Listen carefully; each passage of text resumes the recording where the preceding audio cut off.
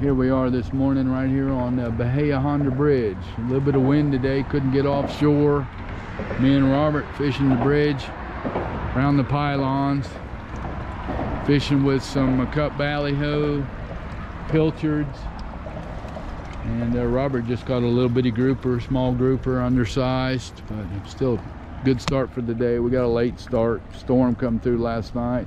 A little bit of rain over that way trying to come this way looks like. Probably going to get us wet. Uh, a little bit of current as you can see behind on the chum bag. I don't know if you can see all that. There's a bunch of fish. I'm not sure what kind they are but they're on the chum bag. We had that yesterday too so uh, see what goes on. Got today and tomorrow. See if we can't catch something good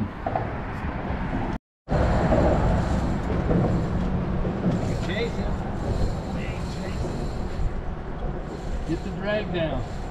Lock it.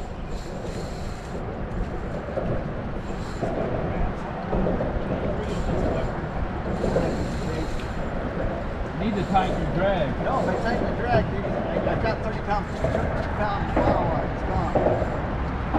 I think be a lot. Jason has enough around the corner. Having to chase it. Just around. See if he comes to the top. See if he comes to the top and it's Weight doing? Hung up on grass?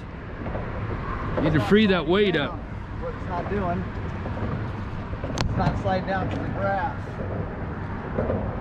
That's all right. Now. Now it's sliding down. Okay, a little bit on him. Don't know what it is. Run back to the bridge again.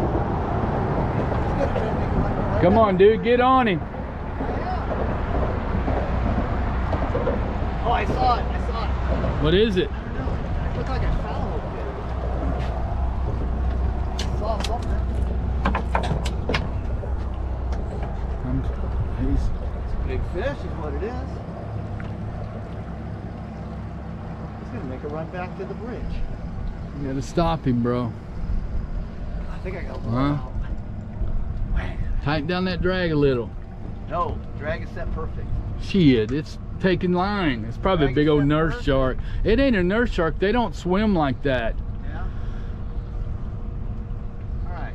We should be able to see something here.